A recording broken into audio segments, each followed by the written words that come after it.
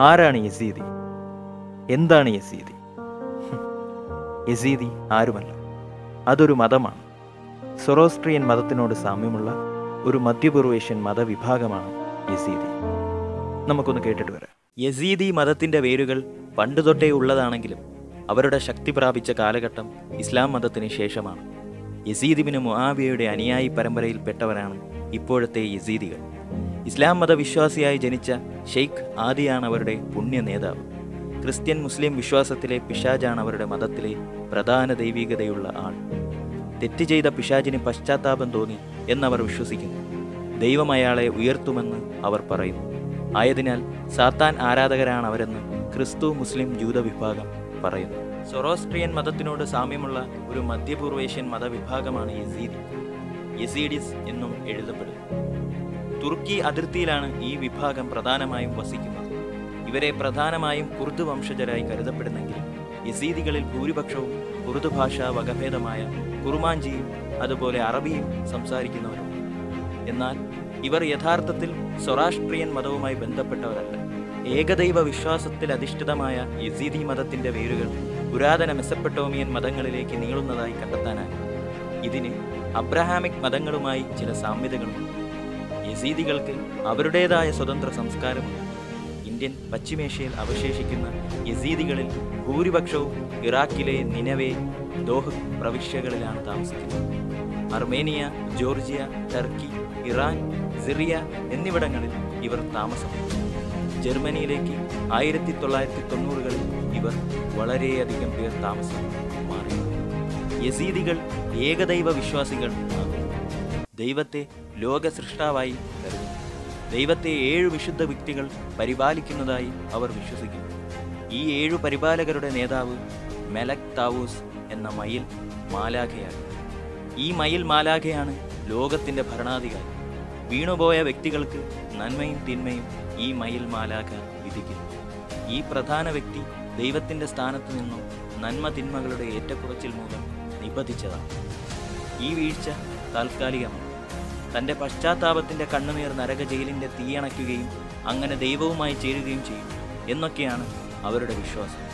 Sufi mystic വിശ്വാസത്തിലുള്ള പ്ലീസ് ദൈവാജ്ഞ ധിഖരിച്ച് ആദവിനെ വണങ്ങാതിരുന്നു. സൂഫി വിശ്വാസത്തിലെ ഈ ഇബ്ലീസ് ബന്ധം മറ്റു ഏകദൈവ മതങ്ങളിലെ ചിലർ ഈ മയിൽ ദേവതയെ സാത്താനോട് ഉപമിക്കുന്നു. ഇക്കാരണത്താൽ യസീദികളെ സാത്താന്റെ ആരാധകരായി കണക്കാക്കി അവരെ ഇറാഖിലെയും മറ്റും തീവ്ര മതവിശ്വാസികൾ പീഡിപ്പിച്ചു വരുന്നു രണ്ടായിരത്തി പതിനാല് ഓഗസ്റ്റോടെ ശുദ്ധീകരണം എന്ന പേരിൽ Islamic State of Iraq and Levant യസീദികളെ പോലുള്ള വിഭാഗങ്ങളെ ആക്രമണ ലക്ഷ്യമാക്കി മാറ്റിയിരിക്കുന്നു. യസീദികളുടെ ജനസംഖ്യയെക്കുറിച്ച് പറയുകയാണെങ്കിൽ ഇന്നത്തെ ഇറാഖ് ടർക്കി സിറിയ എന്നിവിടങ്ങളിൽ കൂടുതൽ പേർ താമസിക്കുന്നു. അർമീനിയ ജോർജിയ ഇറാൻ എന്നിവിടങ്ങളിൽ വലിയൊരു സംഖ്യ യസീദികൾ വസിക്കുന്നുണ്ട്. ഇരുപതാം നൂറ്റാണ്ടിലെ പല പ്രധാന സംഭവങ്ങളും പ്രത്യേകിച്ചും രാഷ്ട്രീയ മാറ്റങ്ങളും കലാപങ്ങളും യസീദികളുടെ ദേശാന്തര ഗമനത്തിന് കാരണമായിട്ടുണ്ട്. ആയതിനാൽ കൃത്യമായ ഇവരുടെ ജനസംഖ്യാ കണക്കെടുപ്പ് സാധ്യമല്ലാതായി തീർന്നിട്ടുണ്ട്. ഇറാഖിലാണ് ഇന്നും യസീദികളുടെ ജനസംഖ്യ സ്ഥായിയായി നിലനിൽക്കുന്നത്. എഴുപതിനായിരത്തിനും അൻപതിനായിരത്തിനും ഇടയിൽ അവരുണ്ടെന്ന് കണക്കാക്കപ്പെട്ടിട്ടുണ്ട്. ഉത്തര ഇറാഖിലെ നനവേ പ്രവിശ്യയിലാണിവർ കൂടുതൽ താമസിക്കുന്നത്. രണ്ടായിരത്തി മൂന്നിലെ ഇറാഖ് യുദ്ധവും സദ്ദാം ഹുസൈന്റെ ഭരണമാറ്റവും അവരെ കാര്യമായി ബാധിച്ചിട്ടുണ്ട്. സിറിയയിലെ ഇവരുടെ എണ്ണം അനിശ്ചിതമാണ്. ആയിരത്തി തൊള്ളായിരത്തി അറുപത്തി മൂന്നിൽ ഇവിടുത്തെ ദേശീയ കണക്കെടുപ്പ് പ്രകാരം പതിനായിരം പേർ ഉണ്ടെന്ന് കണ്ടെത്തി. ഇന്ന് പന്ത്രണ്ടായിരം മുതൽ പതിനയ്യായിരം പേർ വരെ ഉണ്ടാകാൻ സാധ്യത കാണുന്നു. അൻപതിനായിരം പേരാണ് ഇറാഖ് യുദ്ധത്തിൽ അഭയാർത്ഥികളായി ഇറാഖ് വിട്ട് സിറിയയിലെത്തിയത്.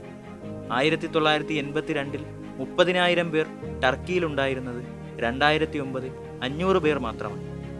മിക്ക ടർക്കിയിലെ യസീദികളും യൂറോപ്പിലേക്ക് പ്രത്യേകിച്ച് ജർമ്മനിയിലേക്ക് പലായനം ചെയ്യുകയാണ് ഉണ്ടായത് ആയിരത്തി തൊള്ളായിരത്തി തൊണ്ണൂറിന് മുൻപ് ജോർജിയയിൽ മുപ്പതിനായിരം പേർ ഉണ്ടായിരുന്നത് അയ്യായിരം പേർ മാത്രമായി അർമേനിയയിൽ പക്ഷേ ഉണ്ടായിരുന്ന യസീദികളുടെ എണ്ണം നാൽപ്പതിനായിരം തന്നെ നിലനിൽക്കുന്നു ഇവരിൽ പലരും റഷ്യയിലേക്ക് പോയതായി കണ്ടെത്തി.